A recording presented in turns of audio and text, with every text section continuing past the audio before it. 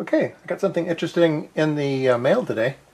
Um, I was uh, poking around on eBay and I found these boards um, and I thought it'd be I thought it'd be fun to build. Um, it's pretty basic. It, it doesn't do a whole lot, but I, it's a very very simple architecture and, and, I think it's a good learning experience for some.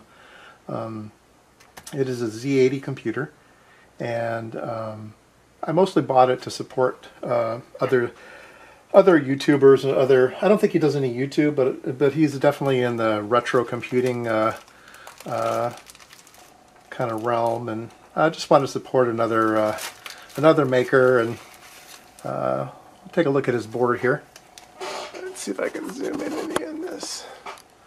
Um, so there's a Z80, there's ROM, there's some RAM, interesting package of RAM, um, a UART an 8255, of course. Uh, and this is where the 8255 comes out, so you could use this as a controller. Um, it has uh, two uh, RS-232 connections, which I don't quite know why there's two of them, but there is. Probably that's just what's supported on their UART chip. Uh, looks like it runs off of 5 volts.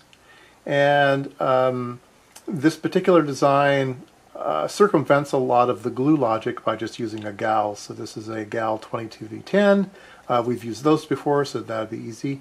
Um, reset button, uh, two clocks, uh, standard clock for the Z80, and then the uh, 1. Point, it's on the it's on the silk screen here. 1.8432 megahertz for the UART to get the baud rates correct. Um, and that's it. Uh, one interesting thing about the uh, the board is it has surface mount parts on it.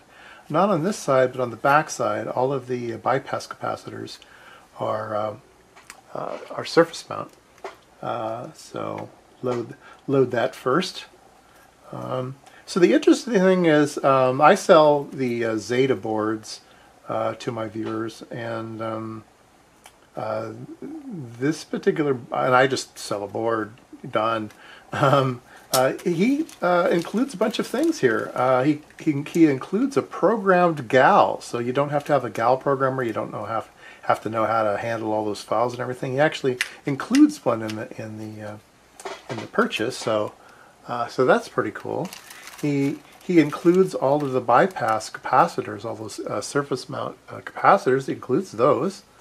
And he also includes a CD-ROM. I don't know why he includes a CD-ROM. Just point to a website, thank you.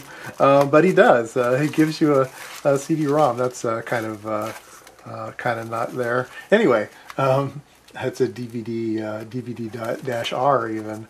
Um, so he, I think he sells this whole thing for fourteen ninety five, something like that. my gosh, he's not making any money on this deal, so it must be a labor of love. Um, and so, uh, like I said, it doesn't do much. Um, I think when you get it actually working, it just boots up a monitor program. And uh, you can um, peek and poke around, do some memory dumps and things like that. Um, I think there is an Intel hex loader, so if you develop a program, you can load it onto here uh, via the via the, uh, the serial port. Um, and I believe uh, there's a version of TinyBasic that'll run on this board. Um, I don't know if you can make it run locally on ROM or you actually have to hex load it every time. I don't know about that yet. Um, but uh, I thought I'd go ahead and build one up. I've got some Z80s.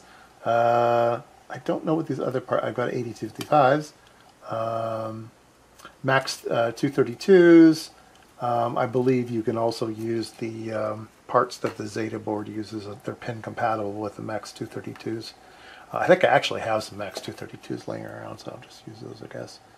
Um, I guess the, the bypass capacitors that he's um, using are also used on the uh, Max 232. There's uh, charge pumps to get the plus and minus, plus 10 and minus 10 voltages on the uh, on the on the UART. I don't know if these are really big enough to support all of the Max 232 chips. I think the CPE chips. This is a Max uh, oh, it's a Max 3230, 3232 CPE. So that's probably one of the more modern parts. The old, the old parts I think required a one microfarad uh, for the charge pumps.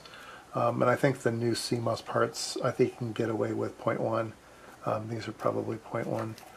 Um, yeah, so uh, let's build it up.